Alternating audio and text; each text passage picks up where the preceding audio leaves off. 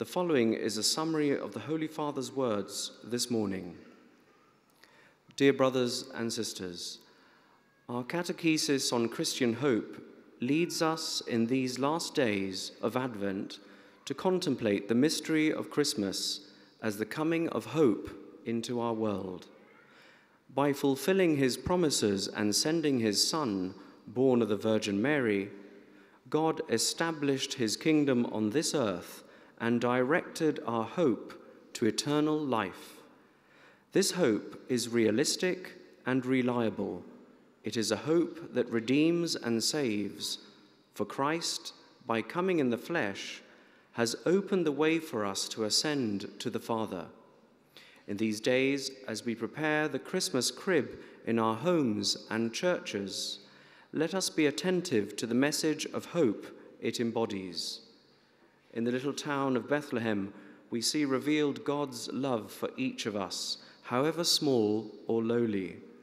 In Mary, who trusted in God's word, we see the mother of hope. Joseph, too, is the man of hope who gave Jesus his name, which means God saves. The peace proclaimed by the angels was heard with joy by the shepherds.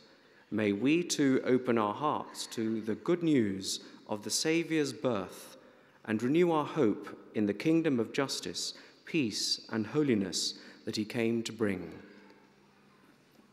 Saluto i pellegrini di lingua inglese presenti all'odierna udienza, specialmente quelli provenienti da Australia, Giappone e Stati Uniti d'America.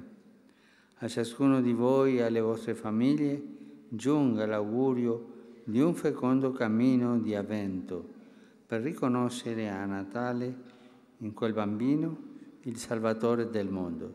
Dio vi benedica.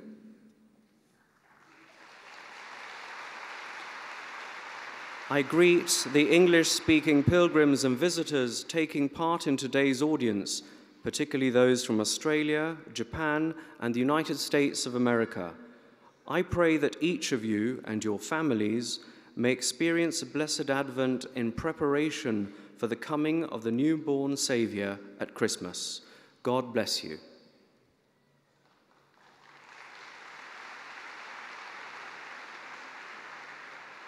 Dominus vobiscum, et cum spiritu tuo, sit nomen Domini benedictum, et soc nunque usque in saeculum, adiutorium nostrum in nomine Domini. qui fecit celum et terra. Benedicat vos omnipotens Deus, Pater et Filhos et Espíritos Santos. Amém. Amém.